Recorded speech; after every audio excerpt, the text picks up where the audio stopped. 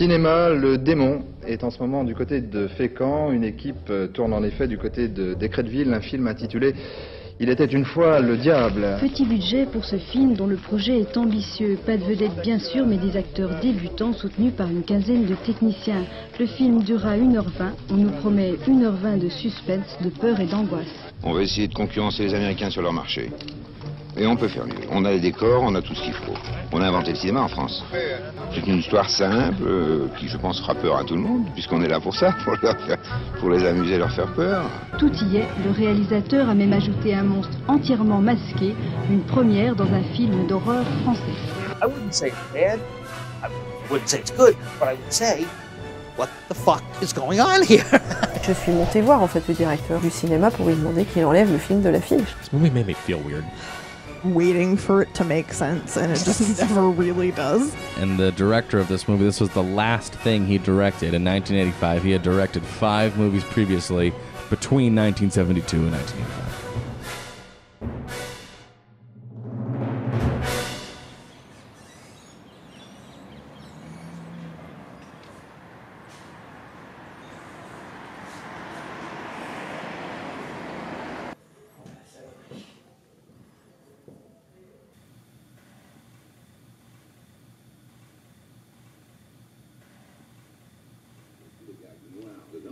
Lequel on a forcé la dose pour faire rire les gens, c'est un peu Ibrahim Seck qui m'a aidé à les trouver, si vous voulez. Et alors Bernard Leblanc, vous êtes réalisateur, vous êtes producteur, vous êtes Ouais. distributeur, vous êtes monteur, vous êtes l'homme orchestre de ce film. Est-ce que c'est pas un peu dangereux? Non. Bon, je pas toujours avoir des, des projets très très ambitieux. Bon, messieurs, Alain On rentre, vous aussi. C'est-à-dire j'ai démarré dans le cinéma en 1947. Voilà, à l'âge de 13 ans, 1943, je sors d'un cinéma un dimanche et je dis je veux être acteur. J'avais vu un film, je ne sais plus lequel, mais je me suis dit je veux être acteur. Oh, Comme beaucoup de mômes. La guerre se passe, la guerre se termine.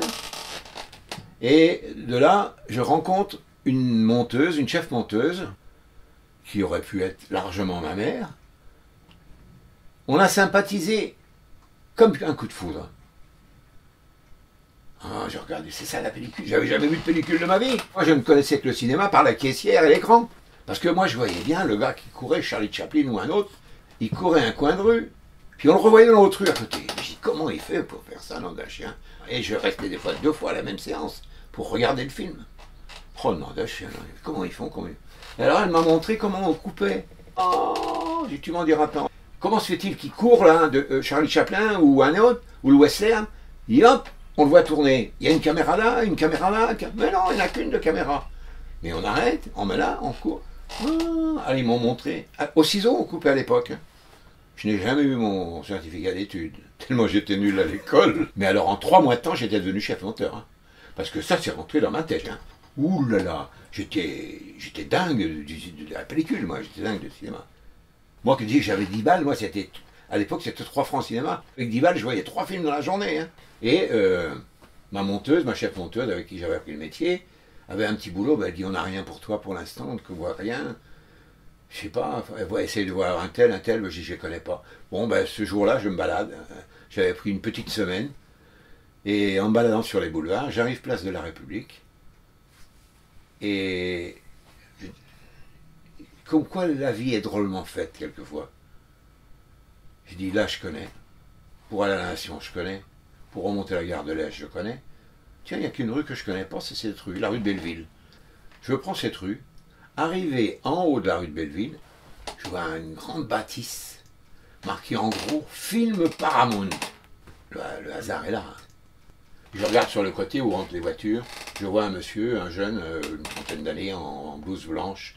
Je dis, excusez-moi monsieur, euh, vous n'embauchez pas. Il m'a dit, vous allez monter le grand escalier là, vous allez traverser un grand hall, un grand un espace, avec des bureaux tout de chaque côté. Alors je rentre, asseyez-vous. Il y a un monsieur en blouse qui m'a demandé de venir vous voir. Je voilà, madame, je cherche du travail. J'ai fait mon service militaire, je suis marié, on n'a pas d'enfant. Et le me pose des questions. Qu'est-ce que vous savez faire? Bah, j'ai appris le métier de monteur. Moi j'ai une place à vous proposer, mais ça ne vous ira pas. Je dis toujours euh, manutentionnaire, faire les paquets.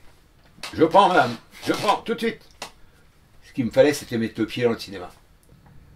Et puis, un jour, j'ai rencontré un copain, un autre copain. Oh, j'aimerais bien qu'on fasse un film un jour. Et puis oui, et puis le copain avait une copine. On était quatre. On devait monter un film ensemble. Pas de scénario, rien du tout. On monte un film. Et mes deux autres copains, je me rends compte qu'ils se, quand ils se baladaient dans, Paris, ils rencontraient d'autres amis.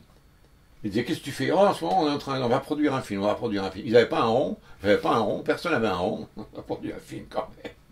Et la fille, elle est venue vers moi. Je dis Tiens, on est beaucoup quatre dans l'affaire. Elle dit Lui, là, on n'a pas besoin. Bon, on a fini par l'évincer.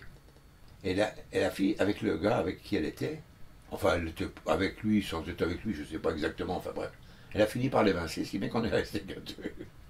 Elle dit On va faire le film tous les deux. Et elle travaillait dans une maison de production. Alors on s'est servi de cette maison de production pour produire un film.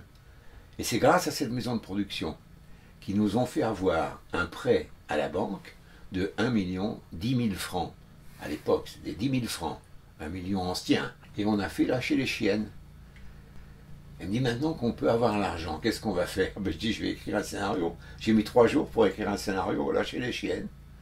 Et le film est passé à Metz dans le premier complexe cinématographique qui existait en France. Et de là, ça a continué comme ça. Euh, on a travaillé un peu ensemble. Euh, puis ils font un film, ils arrêtent, ils font un film, ils arrêtent. Et Le Diable a été sorti euh, par eux et par moi, deux, trois. Ils ont fait une dizaine de salles quand même. Il, a tourné à pas mal. Hein. Il a été à Caen, il a été à pas mal d'endroits. Ils ont fait 400 entrées à Caen. Hein. Il fait 100, 200 entrées à Lille, il fait 150 entrées là, et ainsi de suite. Je n'avais que 52 minutes, et je le dis dans le film, je me cache pas. Je dis j'ai fait comme beaucoup, j'ai tiré sur la pellicule.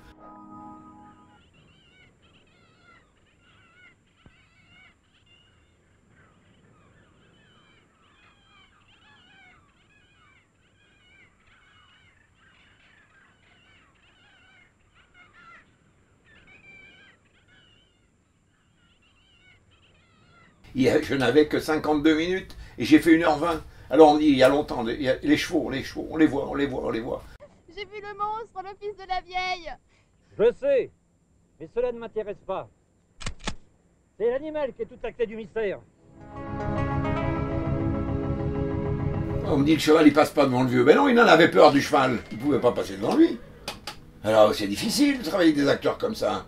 C'est difficile. Si quand tu es là, je dis tu as Sale animal du diable, j'aurai ta peau, tiens Dis, je peux pas faire les deux en même temps, il me disait toujours. Oh, j'ai merde, va te faire foutre. Ici, animal du diable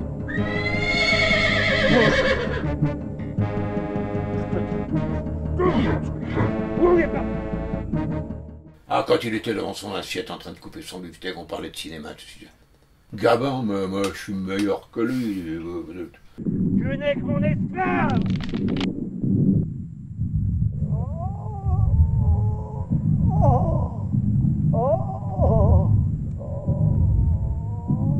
Oh, je dis ferme ta gueule.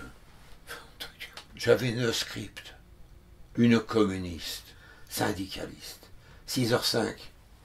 Oh 6h05, t'as vu? On a gagné une demi-heure. Après, le diable, euh, bon, on l'a mis en vente. On l'a bien vendu à l'étranger. Bien vendu à l'étranger, ça a été correct. On l'a mis en vidéo tout de suite. Je vous dis, on, on l'a coûté 400 000 francs, 40 millions, et on a facturé 150 000 francs, pour l'instant. On n'est pas perdant. J'ai acheté un cinéma. Euh, il y a un groupe qui avait racheté les 400 salles de, de Parafrance. UGC en a racheté une partie, Gaumont Pâté en a racheté une partie, et il restait cette salle-là qui était à côté de chez nous. Alors on a fini par l'acheter, euh, parce que j'avais vendu mon film à la télé, j'avais un peu d'argent, j'avais fini par l'acheter. On a pris le cinéma, on l'a remonté à 220 000. Et quand il a été remonté à 220 000, que toutes les dettes étaient payées, j'ai dit maintenant je prends ma retraite. Hein. Je suis fier de ma vie, je suis fier de ma famille, je suis fier de ma vie. Mais j'aurais pu faire mieux. Pu. On peut toujours faire mieux. On peut toujours faire mieux. C'est ça qui est malheureux. J'ai loupé des choses par, par connerie. Par bêtise. Et vous pensez qu'en France, on peut faire aussi bien qu'en Amérique? Euh, personnellement, personnellement, je pense qu'on peut faire mieux. C'est une histoire simple, euh, qui, je pense, fera peur à tout le monde.